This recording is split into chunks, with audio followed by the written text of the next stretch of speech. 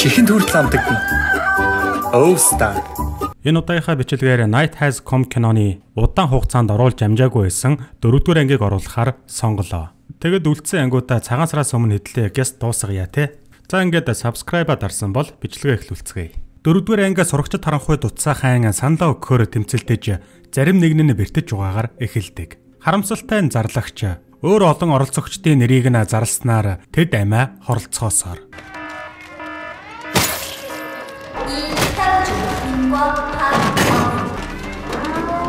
Харин утсаа авсан нэг нь хэнд саналаа өгөх дээрээ шийдэж ядна. Гэтэл Сооми Юнхад саналаа өгснөөр бусд нь ч бас түүнийг дагаж саналаа өгдөг. Хэдийгээр Юнхаа Соомид саналаа өгсөн ч хитрхи оройтсон байлаа. Юнсиа үлдсэн оролцогчдоос саналаа хувааж бие биедээ саналаа өгөхийг гуйж Юнхаг аврахыг оролцсон ч нэмэр болсонгүй. Үүнтэй зэрэгцэн Хюнжүүн хинхуугийн утсыг олоод түүнийг эрэхтэн шиддэг. Харамсалтай нь хинхуу утсаа авчиж чадалгүй өөрийгөө дүүжлэнэ.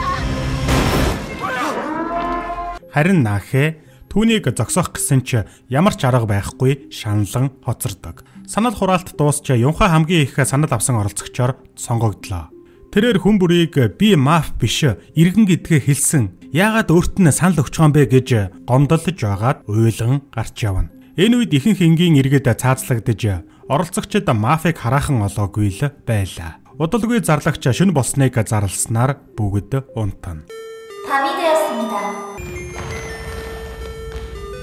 Маргааш өглөө нь Юнсио хэн нэгэн өөрийг нь боож хөнөөж байна гэж хар даран зүүдэлж сэрлээ. Сурагчид сэрэд Хянхуугийн цогцоосоо дүүжлэгдсэн хിവэр байгааг олж гарна. Удалгүй тэд Жуйоныг үхсэн байгааг мэдэх ба түүнийг мафа цаазалсан тэр иргэн байсан гэж зарладаг.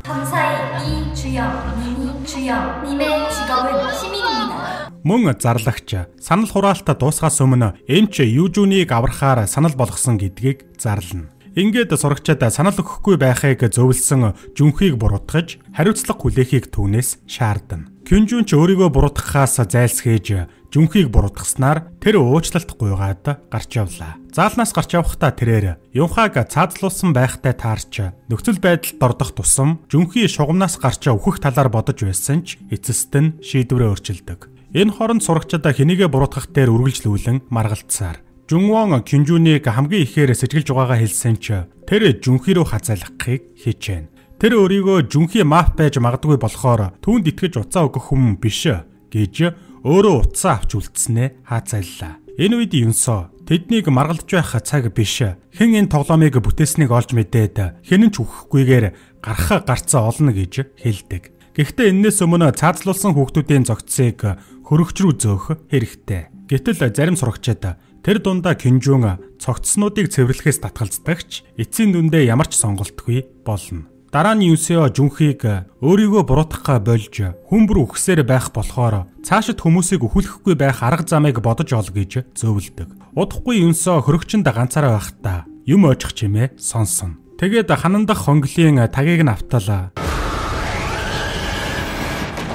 Улмаар чимээ гарахыг сонссон сурагчдаа хурж ирэхэд түүний амьсгал нь боогдох бөгөөд амьсгалын аппаратыг нь өгснөөр удалгүй тэр ухаан алдана. Юнсо эмнэлгийн өрөөнд сэрэхэд Нахи байх ба тэр түүнд юу болсныг тайлбарлав. Нахед хинхуугийн үхэл хүн дээр тусч тэр сэтгэл санааны хувьд дорой болжээ. Өөр хаа нэгтээ бусад сурагчид тоглоомын талаар ярилцаж хэн нь хэн болохоо тодорхой болгохыг хүсэж байгаа ч хэн нь ч өөрийгөө илчилдэггүй. Өнгөрсөн шөнө олон энгийн иргэд санал өгөхгүй байхаар шийдсэний улмаас амиа алдсан болохоор жүнхий маф байж магадгүй гэж Кинжун онцлно. Гэтэл Сүми дан энгийн иргэд биш мафас ч гэсэн хүн өгсөн гэж үгийг нь няцаадаг. Гэтэл сурагчид эмчд аврагдсан Южүний найзууд руу анхаарлаа хандуулж тэднийг эмчнэр байх гэж таамаглахад мэдээж тэд шуудхан л үг үсгэнэ. Удалгүй Мина Сүмийг юнхаа өчигдөр чамайг маф гэж хэлсэн. Тэр чамайг барьчихсан болохоор чи түүнийг сонгосон уу гэж асуулаа. Сандарсан Сүми түүнийг өөрт нь төрүүлж санал өгөх гээд байсан учраас түүнд санал өгсөн гэж хариулаад зөрүүлээд Минаг чи юнхаад дургүй байсан биздэ гэж тулгана. Удалгүй Вуурам Кюнжүнийг яагаад утсаа нуусныг нь асуулаа. Гэтэл хэлэх үггүй болсон Кюнжүн буцаагаад Вуурамыг Урд шин мафода цаазлуулсан Жуяныг чи алсан биз дээ. Сэтгэлээ илчлэхэд чинь тоогоогүй болохоор хөнөөсөн. Чи маф гэж хариу тулгадаг. Энэ мэтчлэн өмнө нь болсон хардаж сэрдэх зүйлсийг сурагчид ярьж нэгнээ буруутгаж байгаад эцэст нь Кюнжун Вуранд эхний саналыг өгснөөр хоорондоо зодтолдох шахна. Үүнтэй зэрэгцэн Кюнжуны хоёр дагалдагч Вуранд санал өглөө. Дараа нь тэр 3 нийт 15 хүн байгаа. Хэдийгээр өөрсдөө Вуранд саналаа өгсөн ч тэд буцаагаад өөрсдөд нь саналаа өгчихгүй гэдэгт санаа зовно. Дотор Жүнхи бусдыгаа ярилцъя гэж ятгсан ч тэд гарч явдаг. Гарч явахдаа Мина Вурамд саналаа өгнө. Учир нь Вурам урд шин мафада цаазлуулсан найз Жуян руу нь яаж хардаг байсныг хараад таагүй санагддаг байсан гэж хариулна. Дараа нь өөрсдийн талд давуу эрхээ авахыг хүссэн Кинжун хоёр дагалдагчийнхаа хамтаар зарим сурагчдад хоол өгч урвуулахаар боллоо. Тэгээд Кинжун өөрсдийгөө нэгдэх хэрэгтэй. Та нар цайны газрыг ашиглаж болно. Вурам бол жинхэнэ маф. Түүнд олон бохор нууц байгаа болохоор энэ бүхнийг хийсэн гих зэрэгээр ухуулга хийн. Ингээд удалгүй сурагчид Ууранд саналаа өгч эхэллээ. Үүнийг нь мэдсэн Уурам уурлаж сонголт байхгүй. Би эсвэл Кинжун аль нэг нь үхэхээс өмнө дуусахгүй гэж хэлдэг. Тэгэд тэр бусдыгаа зөрүүлээд түүнд санал өгцгөөе гээд түүнийг дээрлэх үү.